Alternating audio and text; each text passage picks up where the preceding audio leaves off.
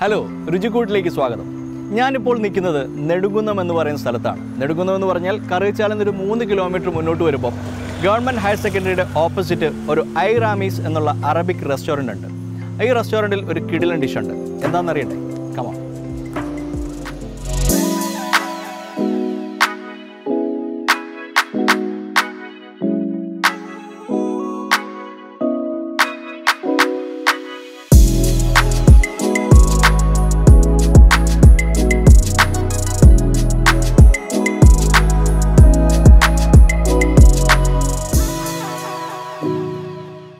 ഐറാമീസിന്റെ all in all ആണ് അജ്മൽ. അജ്മലാണ് എന്നോടൊപ്പം ഉള്ളത്.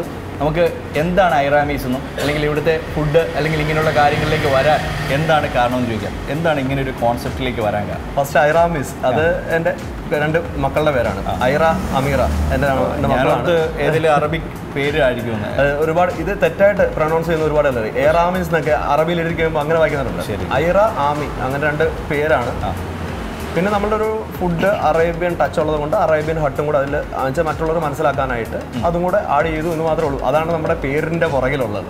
ഇപ്പം ഞാൻ ഈ കുറേ സ്ഥലത്തൊക്കെ യാത്ര ചെയ്തു. ഇപ്പോൾ നമ്മളിപ്പോൾ ഒരു കുറച്ചുകൂടെ ഉള്ളിലോട്ട് കയറിയാണ് ഇപ്പോൾ കൊച്ചിയോ അല്ലെങ്കിൽ ടൗണിലേക്കൊക്കെ പോയി കഴിഞ്ഞാൽ ഇഷ്ടംപോലെ കുഴിമന്തി ബാർബിക്യൂ ഇതൊക്കെ ഇഷ്ടംപോലെ ഉണ്ട് ഇപ്പോൾ പക്ഷേ ഇങ്ങനെ ഒരു സ്ഥലത്ത് ഇത് തുടങ്ങാൻ കാരണമില്ല. ഇത് തുടങ്ങുന്ന സമയത്ത് എന്നോട് കുറേ ആളുകൾ ചോദിച്ചായിരുന്നു ഇത്രയും പൈസ ഇവിടെ ഇറക്കേണ്ട ഒരു ആവശ്യമുണ്ടോ? ചോദിച്ചായിരുന്നു. കാരണം വെച്ചാൽ കഴിഞ്ഞാൽ ഇത് നമ്മുടെ ഗ്രാമമാണ്. നമുക്ക് ഇവിടെ ഇല്ലാത്തൊരു സാധനം നമ്മൾ മാത്രം മുൻകൈ എടുത്താലേ നമുക്കിവിടെ ചെയ്യാൻ പറ്റത്തുള്ളൂ. ഞാൻ വെളിയിലായിരുന്നു ഗൾഫിലായിരുന്നു. അപ്പോൾ ഞാൻ ലീവിന് വരുമ്പോൾ എന്റെ ഫാമിലിയുമായിട്ട് വെളിയിൽ എന്തെങ്കിലും കഴിക്കാൻ പോകണമെങ്കിൽ ഞാൻ നേരെ ഇവിടെ നിന്ന് ചങ്ങനാശ്ശേരിക്കോ കോട്ടയത്തിനൊക്കെ പോകേണ്ട ഒരു അവസ്ഥയുണ്ടായിരുന്നു. അപ്പോൾ ഇതിന്റെ ബാക്കിയായിട്ട് നമുക്ക് ഓരോ കാര്യങ്ങൾ ഞാനിവിടെ എന്ത് സ്റ്റാർട്ട് ചെയ്യുന്നുണ്ടെന്നുണ്ടെങ്കിലും ഇവിടെ കിട്ടാത്ത കാര്യങ്ങൾ. ഓക്കെ എന്നുവെച്ചാൽ ഇവിടെയുള്ള ആളുകൾക്ക് ഏറ്റവും അടുത്ത് ആക്സസ് ചെയ്യാൻ പറ്റുന്ന ഫാമിലിക്ക് കുട്ടികളുമായിട്ട് വന്നിരുന്ന് കഴിക്കാൻ പറ്റുന്ന. അങ്ങനെ ഒരു കോൺസെപ്റ്റ് എന്റെ ഫാമിലിയുമായിട്ട് ഞാൻ കണക്ട് ചെയ്തതുകൊണ്ടാണ് ഞാൻ ഇങ്ങനെ ഒരു സ്ഥലത്ത് ഇങ്ങനെ തുടങ്ങാൻ ഒരു ഇതൊക്കെ തന്നെയായിരുന്നു പരിപാടി. ഗൾഫിലും ഫുഡ് റിലേറ്റഡ് ആയിട്ടുള്ള കാര്യങ്ങളായിട്ട് ഞാൻ കഴിഞ്ഞൊരു പതിനാറ് പതിനേഴ് വർഷമായിട്ട് ഈ ഒരു ഫീൽഡിലാണ് വർക്ക് ചെയ്യുന്നത്. അത് എറണാകുളത്ത് ഇതിന്റെ ബി ടി എസ് പോലെയുള്ള വലിയൊരു റെസ്റ്റോറന്റിലായിരുന്നു അതിനുശേഷം ഇപ്പോൾ പത്ത് പതിനൊന്ന് വർഷമായിട്ട് റിയാദിൽ സൗദിയിലായിരുന്നു. അവിടെയും ഫുഡ് റിലേറ്റഡ് ആയിട്ടുള്ള കാര്യങ്ങളൊക്കെ തന്നെയാണ് ചെയ്തുകൊണ്ടിരുന്നത്. അപ്പോൾ ഇതിനോട് ഭയങ്കര ഒരു എന്താ പറയുന്ന ഒരു ആഗ്രഹമായിരുന്നു. കുറേ നാളത്തെ സ്വപ്നത്തിന്റെ പുറത്താണ് ഇങ്ങനെ ഒരു കാര്യം. അപ്പോൾ നമ്മൾ രുചിക്കൂട്ട് എപ്പോഴും വെറൈറ്റി ഫുഡ് തേടിയുള്ള യാത്രയാണ്. അതാണ് നമ്മൾ ഐറാമീസിൽ വരാനും കാരണം. കാരണം ഇവിടെ അറബിക് ഫുഡ് ഉണ്ടെങ്കിലും അതിനൊരു കേരളീയ ടച്ച് ഉണ്ടെന്നാണ് പറയണത്. അതെന്താണ് ജോലെ? അൽഫാം എന്ന് പറഞ്ഞു കഴിഞ്ഞാൽ അറബിക് ടച്ചുമായിട്ട് ബന്ധപ്പെട്ടൊരു ഫുഡാണ് ശരിയാണ് പക്ഷേ അതിൽ നമ്മളൊന്ന് ചെറുതായിട്ടൊന്ന് മാറ്റി നോക്കിയതാണ്. പക്ഷെ അത് സക്സസ് ആയതുകൊണ്ട് ഒരുപാട് നല്ല ഫീഡ്ബാക്ക് കസ്റ്റമറിൽ നിന്ന് വരുന്നുണ്ട്.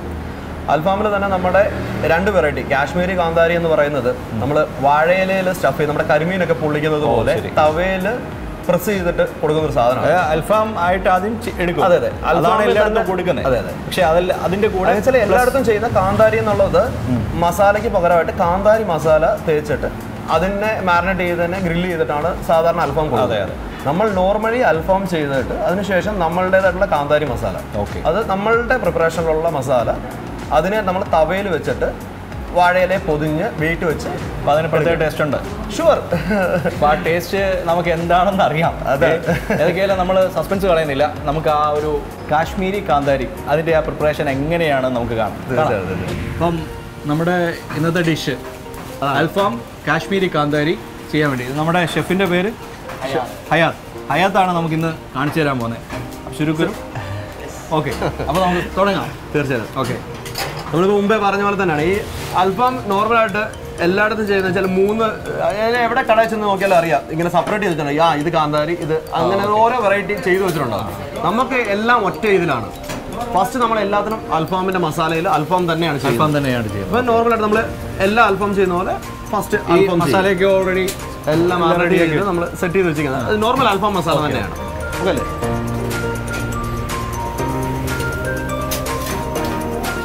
അപ്പൊ നമുക്കിപ്പോ ഓരോന്നിൽ ഒരു കാന്താരിയും ഒരു കാശ്മീരി നമുക്ക് ആ ഓക്കെ രണ്ടും കൂടെ അല്ലേ? അതെ അതെ. എന്നുവെച്ചാൽ ഇതിന്റെ എല്ലാം പ്രിപ്പറേഷൻ സെയിം ആണ്. അത് കഴിഞ്ഞിട്ട് നമ്മുടെ മസാലയിലുള്ള മസാലയില. രണ്ടാമത്തെ സ്റ്റെപ്പാണ് നമ്മളുടെ വ്യത്യാസമായിട്ട് ചെയ്തിട്ടുള്ളത്. അതായത് ഇപ്പൊ അറബിക്കാണ്. അതെ. ഇനി നമ്മുടെ കേരളത്തിലേക്ക് അതാണ്. പതിയെ യാത്ര ചെയ്ത് തുടങ്ങിയിട്ടേ നമ്മൾ രണ്ട് രീതിയിലാണ്. ഓൾറെഡി അൽഫാമിന്റെ അതേ കാര്യങ്ങളിൽ തന്നെ പോകും അത് കഴിഞ്ഞാൽ പിന്നെ അൽഫാമിന് ഒരു കേരളീയ ടച്ച് കൊടുക്കും. അതെന്താണെന്ന് പറഞ്ഞുതരാം. സസ്പെൻസ് ആണ്. ഇത് എത്ര നേരം എടുക്കും? ഇതിപ്പോ ഒരു അഞ്ച് മിനിറ്റ്. അഞ്ച് മിനിറ്റ്. അതെ അതെ. ഇത് നമ്മൾ സാധാരണ നോർമൽ അൽഫാം എങ്ങനെ ചെയ്യുന്നു അതേ രീതിയിൽ മാത്രമേ ചെയ്യുന്നുള്ളൂ. പിന്നെ പല ആളുകളുടെ അൽഫാമിന്റെ മസാല ഡിഫറെന്റ് ആയിരിക്കും. നമ്മളുടെ ഇത് നമ്മളുടേതായിട്ടുള്ള മസാലയാണ്. ഓക്കെ ഇപ്പം നമ്മുടെ ഇവിടെ കസ്റ്റമേഴ്സ് വരുമ്പോൾ അവർ ചിലപ്പം പറയുമല്ലോ സ്പൈസി കൂട്ടണം അല്ലെങ്കിൽ കുറച്ച് അപ്പോൾ ആ രീതിയിൽ കസ്റ്റമൈസ് ചെയ്ത് നമുക്ക് ഫസ്റ്റ് കസ്റ്റമർ നമ്മളോട് ചോദിക്കുന്നത് ഇത് എങ്ങനെയാണ് സ്പൈസി ഉള്ളതാണോ ചോദിക്കുന്നത് അപ്പോൾ നമ്മൾക്ക് ഓരോന്നിനെയും കാന്താരിക്കാണെങ്കിൽ നല്ല സ്പൈസി ആയിരിക്കും. കാശ്മീരി കുറച്ചുകൂടെ കുറവുണ്ടാകും. പെരി പെരിയും കുറച്ച് സ്പൈസി ആയിട്ടുള്ള സാധനം ഓക്കെ അപ്പോൾ നമുക്ക് കസ്റ്റമറിന്റെ ഒക്കെ കാന്താരിക്ക് ചെറിയ എരിവ് മതി എന്നുണ്ടെങ്കിൽ ആ രീതിയിൽ ചെയ്ത് കൊടുക്കും. നമുക്കിപ്പോൾ കഴിക്കുന്ന ആളുടെ തൃപ്തിയാണ് പ്രധാനം. അതുകൊണ്ട് അയാൾ പറയുന്നത് എന്താണോ അത് നമ്മൾ ചെയ്യാൻ പറ്റുന്ന കാര്യങ്ങളാണ് ചെയ്തു കൊടുക്കുന്നത് എനിക്ക് തോന്നുന്നു ഈ ഒരു കാന്താരി അൽഫാം അല്ലെങ്കിൽ ഇവിടുത്തെ ആ അറബിക് കേരള ടച്ച് കിട്ടാൻ വേണ്ടി പലയിടത്തുനിന്ന് ആൾക്കാർ വരുന്നുണ്ട്. ഷോ എനിക്ക് ഈ പറഞ്ഞ പോലെ തന്നെ ഈ ഒരു നാലോ അഞ്ചോ കിലോമീറ്ററിനകത്തല്ല എന്റെ കസ്റ്റമേഴ്സ് എന്ന് പറയുന്നത്. അപ്പോൾ നമ്മൾ അൽഫാം ഏതാണ്ട് റെഡിയായി അവിടെ റെഡി ആ ഒരു പ്രോസസ്സ് നമ്മുടെ റെഡി കഴിഞ്ഞിട്ടുണ്ട്. അറബിക് കാര്യങ്ങൾ കഴിഞ്ഞു. ഇനി നമ്മൾ കേരളത്തിലെത്തി. കേരളത്തിലേക്ക് പോവുകയാണ്. അപ്പോൾ നമ്മൾ അടുത്ത ഒരു അടുപ്പിൽ നിന്ന് അടുത്ത അടുപ്പിലേക്ക് നമ്മൾ മാറ്റുവാണ്. അപ്പം നമ്മുടെ ഇതാണ് നമ്മുടെ അടുത്ത പ്രോസസ്സ് ഇത് നമ്മുടെ തവയിലേക്ക് നമ്മൾ ഒന്നുകൂടെ ഒന്ന് ഹീറ്റാക്കി പ്രീ ഹീറ്റ് ചെയ്ത് വെച്ചിരിക്കുകയാണ്. ഓക്കെ. തവയിലേക്ക് അൽഫാം മാറ്റി. അത്. കഴിഞ്ഞിട്ട് ഇനി നമ്മുടെ മസാല ഉണ്ട് അല്ലേ? അതെ.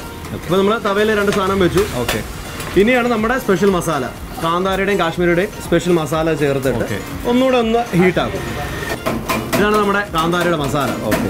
ഇത് കൂട്ടം എന്തായാലും അറിയാമല്ലോ. നമ്മുടെ സ്പെഷ്യൽ കൂട്ടാണ്. നിങ്ങളുടെ അറാമിസിന്റെ പ്രത്യേക മസാലയാണ്. ചില ഏറ്റവും നല്ല നമ്മളൊരു സാധനം കൊടുക്കുമ്പോഴത്തേന് അത് നല്ലതാണോ ചീത്തയാണോ എന്ന് അറിയുന്നത് കസ്റ്റമർ ഫീഡ്ബാക്കിൽ നിന്നിട്ടാണ് ഓക്കെ ഓക്കെ. നമുക്ക് ഏറ്റവും നല്ല ഫീഡ്ബാക്ക് ഉള്ള ഒരു സാധനമാണ്. അപ്പോൾ ഇതിനകത്ത് ഫുള്ളായിട്ട് ഈ മസാല ചേർത്ത് നന്നായിട്ട് ഒന്നുകൂടെ അതെ അതെ. ഇതാക്കുകയാണ് അല്ലേ? നമുക്കറിയാലോ കല്ലിൽ ചുടുന്നതും കനലിൽ ചുടുന്നതും രണ്ടും ടേസ്റ്റ് വ്യത്യാസമായിരിക്കും. ഇതല്ല നമ്മൾ ഒരുപാട് മസാല ഒന്നും ചേർത്തില്ല. നമ്മളൊരു നോർമൽ സ്പൈസിലാണ് ഇപ്പം നമ്മൾ ചെയ്തിരിക്കുന്നത് ആ കാന്താരിയുടെ ഒരു സ്മെല്ല് smell. ഇത് വേറെ മസാല അല്ലേ? ഇതാണ് നമ്മളുടെ കാശ്മീരി മസാല. ഓക്കെ. അത് നമ്മുടെ ഈ പറഞ്ഞ പോലെ വത്തനമുളക് ഉണ്ടല്ലോ വത്തമുളകും കാര്യങ്ങളും എല്ലാം കൂടെ ചേർത്തിട്ടുള്ള ഒരു മസാലയാണ് ടൊമാറ്റോയും കാര്യങ്ങളും. അങ്ങനെ നമ്മളുടേതായിട്ടുള്ള പ്രിപ്പറേഷൻ ആണ് അത് ഇതിലെ പ്രത്യേകത എന്താണെന്ന് വെച്ച് കഴിഞ്ഞാൽ ഈ കല്ലിൽ നമ്മൾ ഈ മസാല ചെയ്ത് കഴിയുമ്പോഴത്തേന് വരുന്ന ഒരു ടേസ്റ്റ് വ്യത്യാസം. കൂടെ നമ്മൾ വാഴയിലയിൽ പൊതിഞ്ഞു നമുക്ക് പണ്ട് തൊട്ട്. തീർച്ചയായിട്ടും. വാഴയിലെ പൊതിഞ്ഞ ചോറിൽ ഉള്ള ഒരു ടേസ്റ്റ് നമുക്ക് എല്ലാവർക്കും അറിയാം. ആ ഒരു സംഭവം തന്നെയാണ് നമ്മൾ മൈൻഡിൽ വന്നത് ഇതിൽ മസാല എല്ലാം ശരിക്കും. നന്നായിട്ട് സോഫ്റ്റ് ആവും. ആ മീറ്റ് നന്നായിട്ട് സോഫ്റ്റ് ആയി കുത്തുമ്പോഴത്തേന്. പിന്നെ നമ്മുടെ വാഴയിലയിലേക്ക് ഈ മീറ്റ് ഇതാണ് ലാസ്റ്റ് നമ്മളുടെ ഒരു സ്റ്റേജ് ഓക്കെ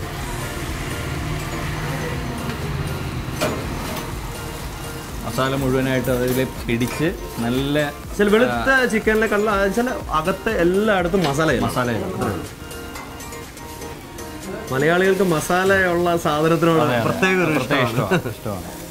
നമ്മളിനി അടുത്ത പ്രോസസ്സിലേക്ക് പോവാണ്. അതായത് നീ ഇല ഇലയ്ക്കകത്തേക്ക് ഇത് പൊതിയാൻ പോവാം okay okay last final final final final touch setup ആണ്. വാഴയിലയിലേക്ക് ആ വാഴയില ഒന്ന് വാട്ടിയെടുക്കുക. എടുക്കുക അതെ. കല്ലിലിട്ട് കഴിയുമ്പോൾ തന്നെ അത് വാടി സെറ്റായി കിട്ടും. അതെ അതെ അതെ. എന്നിട്ടൊന്ന് പൊതിഞ്ഞ് വെയിറ്റ് വെക്കുക. ഓ ശരി ശരി. ഓക്കെ അതിന്റെ മുകളിലേക്ക് ആ വെയിറ്റ് കൂടെ വെയിറ്റ് കൂടെ വെക്കുക.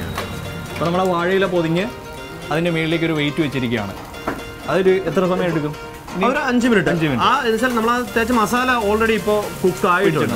ഇനി ആ വാഴയിലയുടെ ഒരു സ്മെല്ലും കാര്യങ്ങളും എല്ലാം കൂടെ കിട്ടാനായിട്ടാണ് നമ്മളിപ്പോൾ അപ്പൊ അപ്പോൾ ഞാനത് ഒന്ന് പരീക്ഷിക്കാൻ വേണ്ടി ഇങ്ങനെ വെയിറ്റ് ചെയ്യുവാണ്. എങ്ങനെയുണ്ടോ നോക്കിയിട്ട് ഞാൻ പറയാം. അപ്പോൾ ഐറ്റം എല്ലാം റെഡി ആവുന്നു. ഇനി ഞാൻ നേരെ ടേബിളിലേക്ക് പോയിരിക്കാം. ടേബിളിലേക്ക് പോയിരുന്നിട്ട് ഇതിന്റെ അഭിപ്രായം പറയാം. ആ വാഴയിലയുടെ സ്മെല്ലും കാര്യമൊക്കെ നല്ലൊരു സ്പൈസി ഇപ്പം തന്നെ എനിക്ക് കിട്ടുന്നുണ്ട്. ആ ഒരു മസാലയുടെ സ്മെല്ലെല്ലാം കിട്ടുന്നുണ്ട്. ഇനി ഇത് കഴിച്ചിട്ട് അതിന്റെ അഭിപ്രായം പറയാം. ഓക്കെ? അപ്പോൾ നമ്മുടെ കാന്താരി ഏ? കാന്താരി തുറന്നു കഴിയുമ്പം ആ ഒരു ചെറിയ പുകയൊക്കെ പോകുന്നുണ്ട്. അപ്പോൾ നല്ല അതായത് നമ്മൾ ജസ്റ്റ് ഒന്ന് പ്രസ് ചെയ്ത് കഴിഞ്ഞാൽ കണ്ടോ? അതിനകത്ത് നല്ല മസാലയൊക്കെ പുരണ്ടിട്ടാണ് ഇരിക്കുന്നത് എന്റെ കൂടെ കുബൂസ് എന്റെ കൂടെ ഇത് ചെയ്ത് ഇച്ചിരി മയണൈസും ഒക്കെ ആയിട്ട്.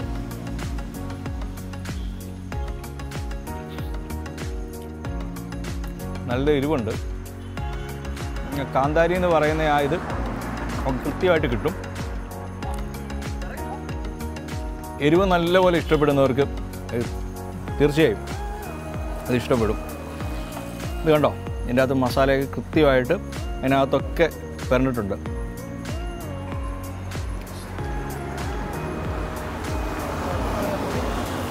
അടിപൊളി കിട്ടും.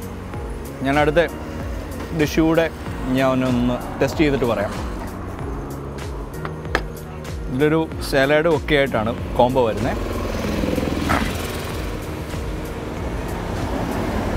ഇതിലും ആ മസാലയൊക്കെ പറഞ്ഞിട്ട് നല്ല സൂപ്പറായിട്ടിരിക്കുവാണ് ഓക്കെ ഇതിന്റെ കൂടെ ഇച്ചിരി കുബൂസ് ഇച്ചിരി സാലഡ് ഇച്ചിരി സലാഡും കൂടെ ഇതിന്റെ കൂടെ കോംബോ ആണെങ്കിൽ മാത്രമേ അത് കറക്റ്റായിട്ട് എന്റെ ആ ടേസ്റ്റ് കിട്ടത്തുള്ളൂ.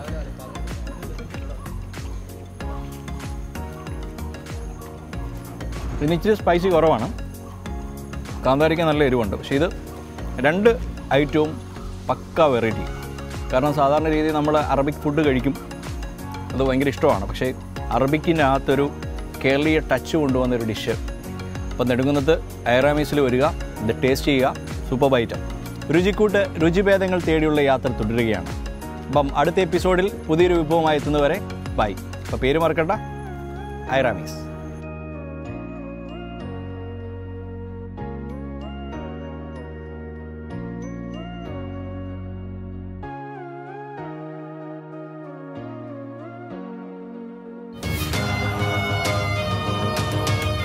You're watching Media Village Television. If you enjoyed this video, don't forget to like, share, and subscribe.